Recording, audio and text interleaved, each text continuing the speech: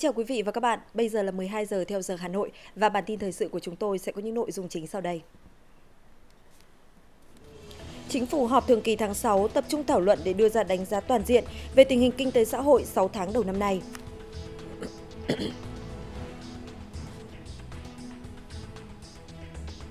Cùng với các cụm thi khác của cả nước, cụm thi số 32 do trường Đại học Nha Trang tỉnh Khánh Hòa đã sẵn sàng cho kỳ thi Trung học phổ thông quốc gia.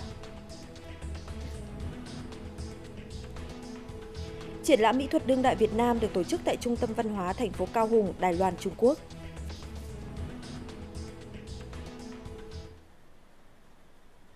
Thưa quý vị, sáng nay ngày 29 tháng 6, Chính phủ đã bắt đầu phiên họp thường kỳ tháng 6 để thảo luận về tình hình kinh tế xã hội tháng 6 và từ đầu năm cho đến nay, tình hình thực hiện nghị quyết số 19 về những nhiệm vụ, giải pháp chủ yếu, cải thiện môi trường đầu tư, kinh doanh, nâng cao năng lực cạnh tranh quốc gia. Do đây là phiên họp giữa năm nên lãnh đạo của 63 tỉnh thành phố trong cả nước đã tham dự phiên họp trực tuyến.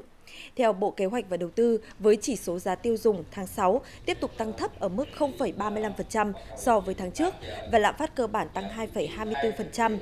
Đây là thời kỳ chỉ số giá tiêu dùng và lạm phát cơ bản giữ được ổn định liên tục và tăng thấp. Trong khi đó, tốc độ tăng trưởng tổng sản phẩm trong nước trong quý 2 ước đạt 6,44%, cho thấy nền kinh tế tiếp tục xu hướng phục hồi và đang lấy lại đà tăng trưởng cao. Tuy nhiên, tốc độ tăng trưởng của khu vực nông, lâm nghiệp và thủy sản tiếp tục tăng trưởng thấp hơn so với cùng kỳ. Tổng kim ngạch xuất nhập khẩu từ đầu năm ước đạt gần 78 tỷ đô la Mỹ, tăng hơn 9% nhưng vẫn thấp hơn mức tăng của năm ngoái là gần 15%. Nguyên nhân của sự sụt giảm về lượng cũng như giá xuất khẩu của một số nông sản và nhiên liệu khoáng sản. Cũng trong phiên họp sáng nay, các thành viên chính phủ và lãnh đạo các địa phương đã tập trung thảo luận để có đánh giá toàn diện về tình hình kinh tế xã hội trong nửa năm qua, đồng thời đưa ra các giải pháp để thúc đẩy sản xuất nông nghiệp và xuất khẩu thủy sản, cũng như tiếp tục thực hiện đồng bộ các giải pháp để tháo gỡ khó khăn cho các doanh nghiệp. Đây là cái ngành mà à, cái khu vực mà có lẽ là sẽ có những thay đổi lớn mang tầm ảnh hưởng và là động lực để tạo ra sự chuyển biến về tích cực về kinh tế xã hội từ ngày 1 tháng 7 tới đây. Đó là một số luật liên quan đã được sửa đổi và bắt đầu có hiệu lực thi hành. Đáng chú ý là các sửa đổi luật liên quan đến luật nhà ở, kinh doanh bất động sản và doanh nghiệp sẽ gây nhiều chuyển biến bởi đối tượng điều chỉnh rộng và có hiệu lực trên các lĩnh vực vốn được coi là đáng chú ý nhất hiện nay. Theo luật nhà ở mới, các quỹ đầu tư nước ngoài, người nước ngoài với visa phù hợp các công ty quốc tế hoạt động tại Việt Nam và người Việt Nam định cư ở nước ngoài sẽ được phép mua nhà tại Việt Nam. Luật kinh doanh bất động sản thì đưa ra nhiều yêu cầu mới để lành mạnh hóa thị trường bất động sản hiện nay. Luật đã mở rộng phạm vi hoạt động kinh doanh bất động sản cho người Việt Nam định cư ở nước ngoài, doanh nghiệp có vốn đầu tư nước ngoài. Thủ tục kinh doanh sẽ được rút gọn ngày càng tiện lợi cho doanh nghiệp. Đó là một trong những thay đổi quan trọng khác trong sửa đổi luật doanh nghiệp lần này. Việc đăng ký kinh doanh được thay đổi căn bản theo hướng không quy định ghi ngành, nghề kinh doanh trong giấy chứng nhận đăng ký doanh nghiệp. Luật đầu tư sửa đổi cũng bãi bỏ nhiều thủ tục phiền hà. Điểm mới quan trọng nhất trong luật đầu tư là bỏ thủ tục cấp giấy chứng nhận đăng ký đầu tư đối với tất cả các dự án đầu tư trong nước, đơn giản hóa hồ sơ, trình tự, thủ tục, rút ngắn thời gian cấp giấy chứng nhận đăng ký đầu tư đối với nhà thầu nước ngoài từ 45 ngày xuống còn 15 ngày. Luật sửa đổi bổ sung một số điều các luật thuế sẽ tạo điều kiện tối đa cho các doanh nghiệp. Theo luật mới, mức trần khống chế doanh nghiệp chỉ chi quảng cáo 15% theo quy định pháp luật hiện hành đã được Quốc hội bãi bỏ. Thuế thu nhập cá nhân đối với người có thu nhập từ trúng thưởng trong casino cũng được Quốc hội quyết định bãi bỏ. Bộ Nông nghiệp và Phát triển Nông thôn vừa công bố kim ngạch xuất nhập khẩu nông lâm thủy sản trong tháng 6 năm nay ước đạt 2,6 tỷ đô la Mỹ và tổng giá trị xuất khẩu toàn ngành trong 6 tháng đầu năm nay ước đạt 14,42 tỷ đô la Mỹ, giảm 2,8% so với cùng kỳ năm ngoái. Trong đó giá trị xuất khẩu các mặt hàng nông sản chính ước đạt 6,93 tỷ đô la Mỹ, giảm 7,4%. Kim ngạch xuất khẩu giảm rất mạnh ở mặt hàng gạo và cà phê. Khối lượng gạo xuất khẩu trong tháng 6 đã giảm 6,2% về khối lượng và giảm 10,5 5% về giá trị so với cùng kỳ năm 2014. Ở mặt hàng cà phê, 6 tháng đầu năm nay giảm 35,8% về khối lượng và 35,1% về giá trị so với cùng kỳ năm 2014. Riêng các mặt hàng lâm sản vẫn duy trì được đà tăng trưởng ổn định.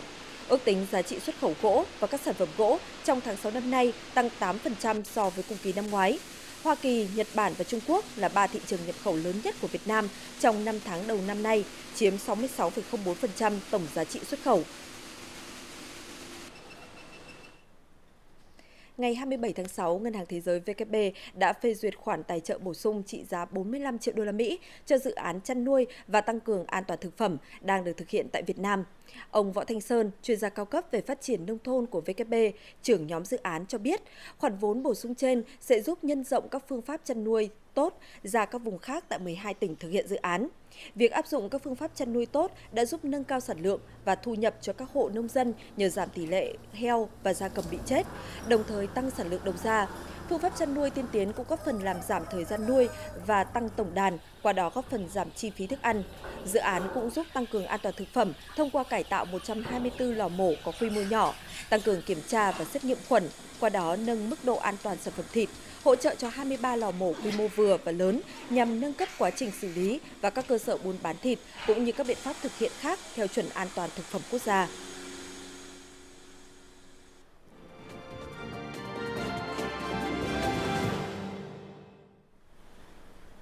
Thưa quý vị, ngày 1 tháng 7 tới đây thì kỳ thi Trung học phổ thông quốc gia 2015 sẽ chính thức bắt đầu và kéo dài trong 4 ngày. Các đơn vị và các tổ chức xã hội cũng có những sự hỗ trợ nhất định nhằm tạo thuận lợi cho các thí sinh và người nhà của các em. Tại Hà Nội sẽ có 2.500 chỗ ở với giá chỉ 30.000 đồng trong cả đợt thi Trung học phổ thông sắp tới. Đây là hỗ trợ đặc biệt của khu nhà ở sinh viên Pháp Vân Tứ Hiệp dành cho các thí sinh tại các cụm thi của Hà Nội. Ngoài ra, ban quản lý còn dành cho thí sinh, người nhà miễn phí nước uống, gửi xe, dịch vụ y tế, thể dục thể thao. Đặc biệt còn tổ chức miễn phí đón thí sinh và người nhà từ bến xe Giáp Bát và có xe hỗ trợ miễn phí đưa đón các thí sinh đến trường làm thủ tục và dự thi. Tại thành tại thành phố Huế, nơi có hai cụm thi với gần 28.000 hồ sơ đăng ký dự thi, nên trong những ngày này, số lượng thí sinh và người nhà đổ về các bến xe, ga tàu tăng đột biến. Ban quản lý các bến xe đã phối hợp với 30 doanh nghiệp vận tải tăng cường công tác phục vụ, đồng thời điều động thêm hàng chục xe dự phòng. Việc bán vé được tổ chức 24 trên 24 giờ, tiến hành kiểm soát giá vé và nâng cao chất lượng phục vụ, siết chặt an ninh, đồng thời phối hợp với lực lượng tiếp sức mùa thi để tiến hành điều tiết xe và phân xe.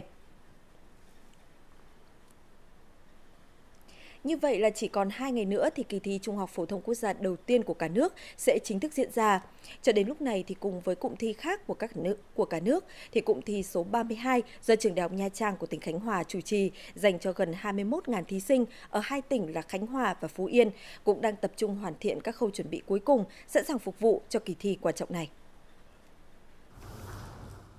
Những công việc cuối cùng như in các biểu mẫu thẻ dự thi, danh sách thí sinh tại từng phòng thi, bản tên có ảnh của thí sinh đang được cán bộ giáo dục trường Đại học Nha Trang gấp rút thực hiện.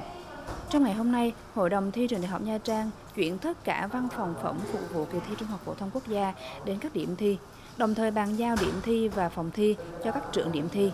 Ngày 29 tháng 6, các trưởng điểm thi cùng với thư ký giám sát tại các điểm thi sẽ niêm phong các phòng thi và niêm yết danh sách thí sinh trước phòng thi theo quy chế đến ờ, ngày 30 theo kế hoạch thì toàn bộ cái công tác từ chuẩn bị cơ sở vật chất, điểm thi và đề thi sẽ sẵn sàng để phát đến ờ, các cái ờ, điểm thi trong cái ngày mùng 1 và ừ, đến ngày 30 thì toàn bộ cái công tác chuẩn bị của nhà trường hoàn tất. Cùng với công tác chuẩn bị về mặt tổ chức, cơ sở vật chất, trang thiết bị, thì những ngày này các cơ sở hỗ trợ chỗ ở miễn phí cho thí sinh cũng đã sẵn sàng để tiếp nhận thí sinh. Chúng tôi đồng tình à, cái cách làm của Trung Chính phủ à, đã chỉ đạo à, và tổ chức cho cái kỳ thi này cho nên chúng tôi sẽ à, đồng hành cùng với lại chương trình hỗ trợ hết sức. Ngoài ra, để đảm bảo cho kỳ thi diễn ra an toàn, công tác kiểm tra cũng được ngành giáo dục đặc biệt chú trọng. Mới đây, đoàn công tác của Bộ Giáo dục và Đào tạo cũng đã đi thị sát thực tế về tình hình chuẩn bị cơ sở vật chất, trang thiết bị, nhân lực phục vụ kỳ thi Trung học phổ thông quốc gia, cũng như công tác bố trí chỗ ăn ở cho thí sinh ở xa về dự thi tại Nha Trang.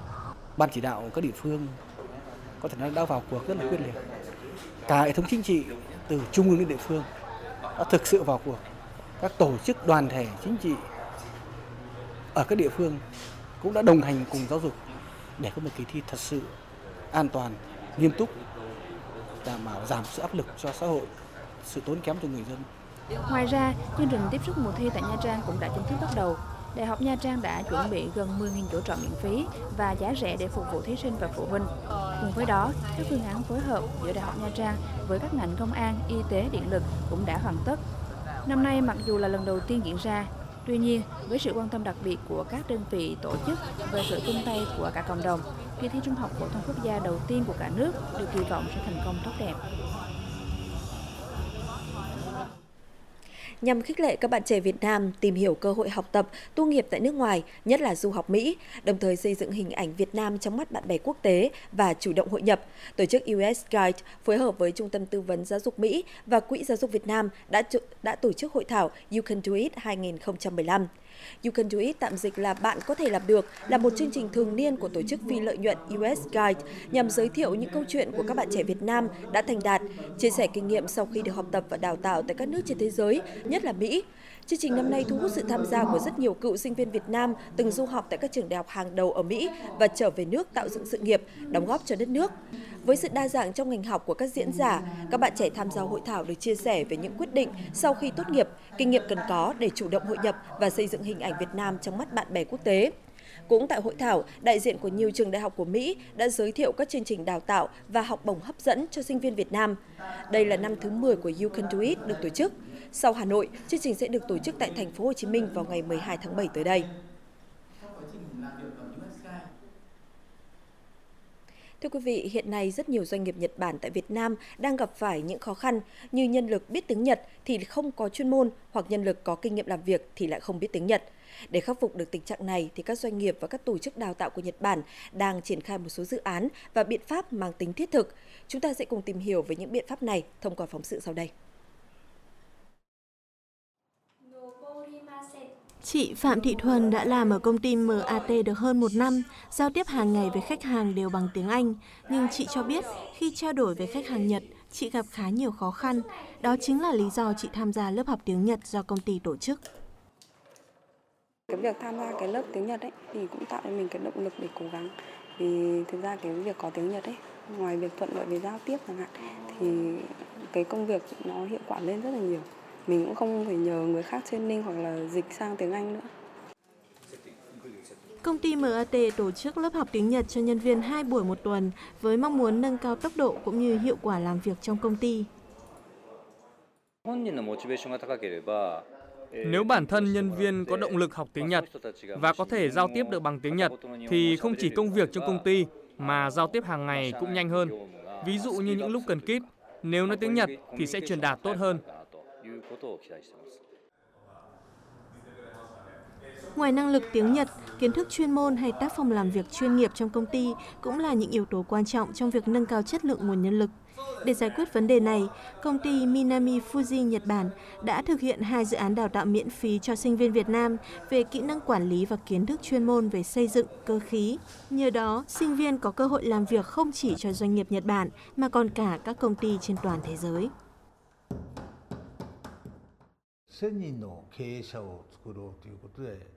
Hiện tại ở Việt Nam, chúng tôi đang thực hiện hai dự án đào tạo nguồn nhân lực. Dự án đầu tiên là Global Management College.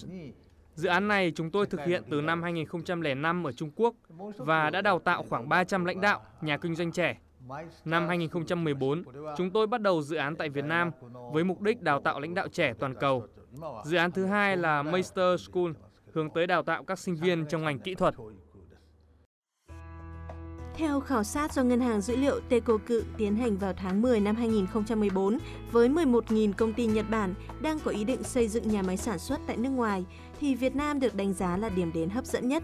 Cơ hội việc làm trở nên hứa hẹn hơn đối với những người học tiếng Nhật. Tuy nhiên, để đáp ứng được yêu cầu của các doanh nghiệp Nhật Bản, người lao động Việt Nam không chỉ cần có năng lực tiếng Nhật tốt mà còn phải nâng cao hơn nữa ý thức kỷ luật và tác phong công nghiệp. Trong phần tiếp theo của chương trình, bằng sự đam mê với nghệ thuật khắc bút chì có xuất xứ từ Nhật Bản, giới trẻ ở thành phố Huế ấp ủ nhiều ý tưởng về những sản phẩm để quảng bá cho du lịch Huế. Triển lãm mỹ thuật đương đại Việt Nam được tổ chức tại Trung tâm Văn hóa thành phố Cao Hùng, Đài Loan, Trung Quốc. Quý vị và các bạn đang theo dõi chương trình thời sự của Đài truyền Việt Nam.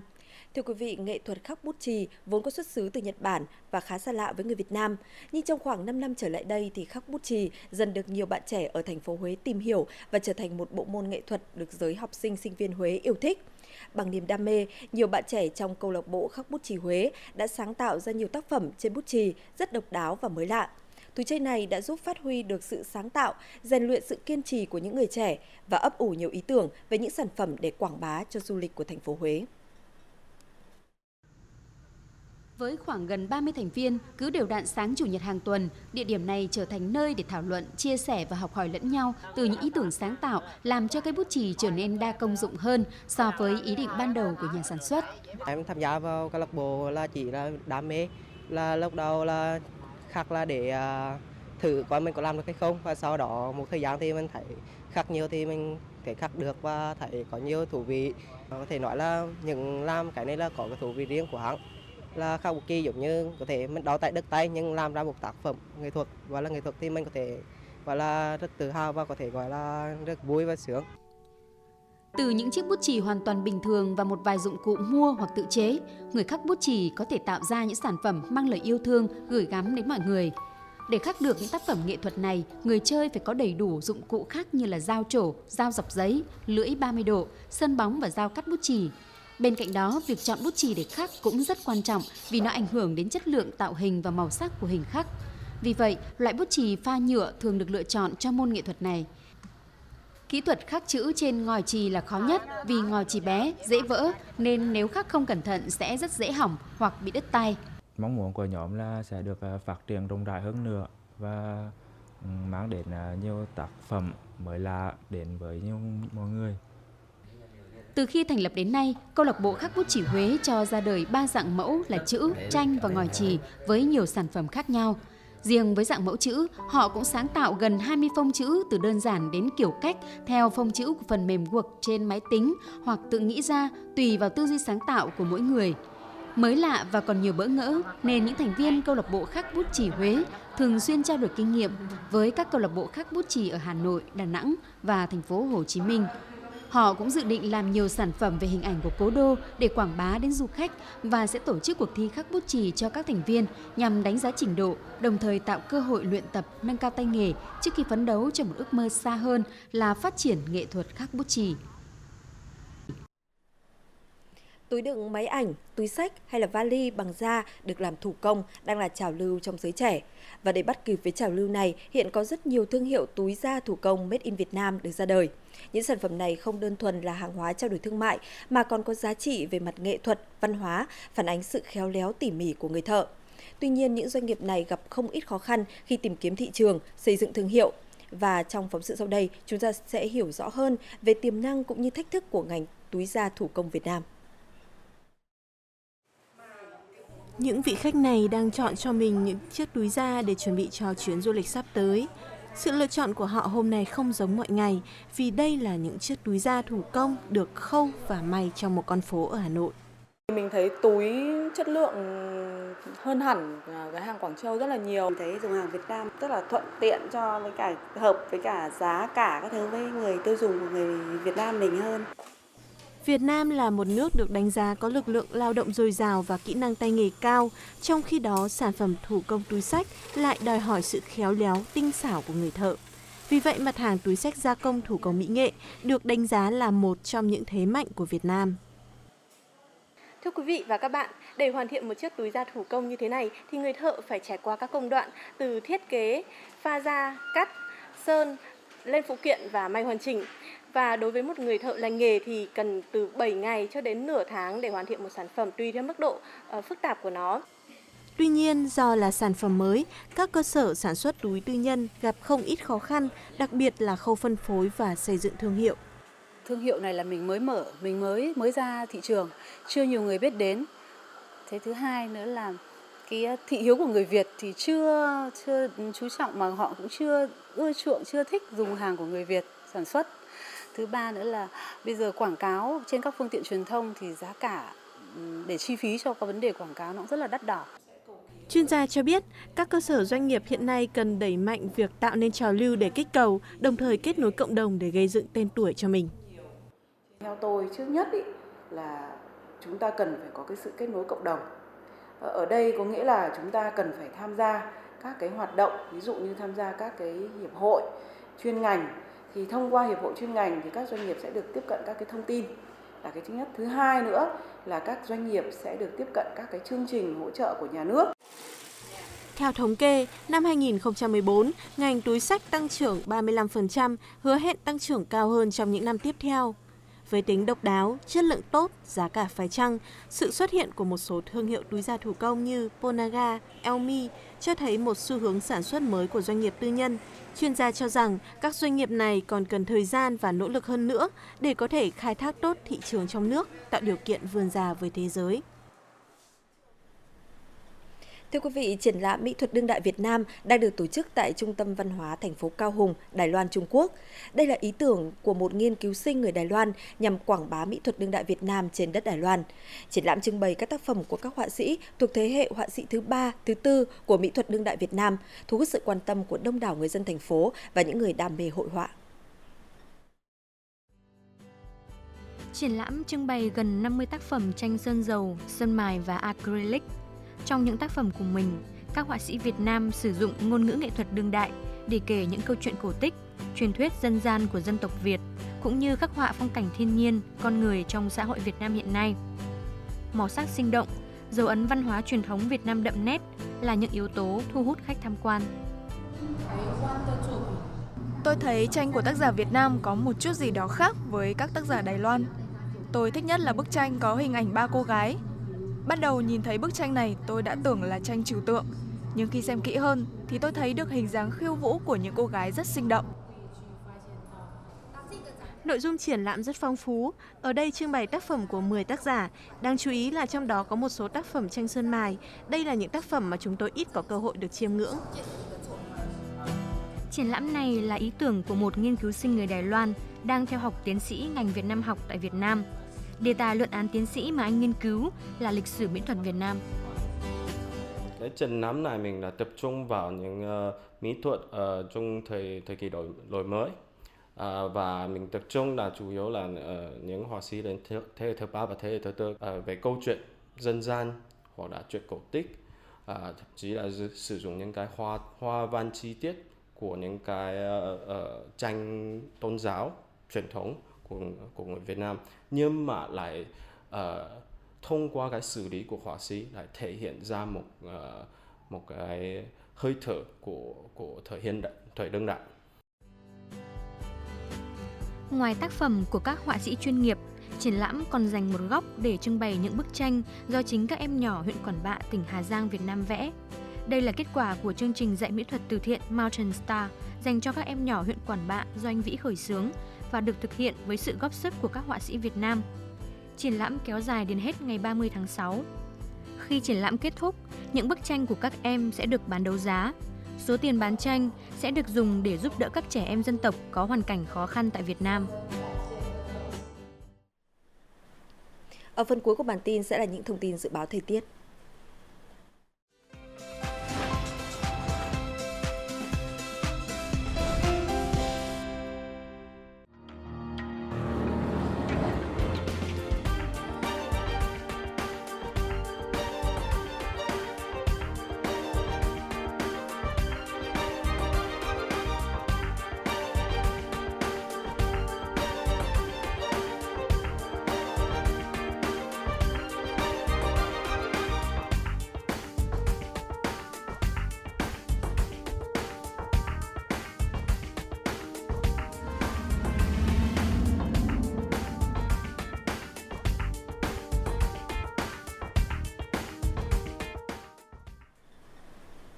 Bản tin thời sự của chúng tôi đến đây là kết thúc. Cảm ơn quý vị và các bạn đã chú ý theo dõi. Để xem lại các chương trình, quý vị và các bạn có thể truy cập vào website vtv4.vn cũng như là trang YouTube chính thức của Ban truyền đối ngoại Đài truyền Việt Nam.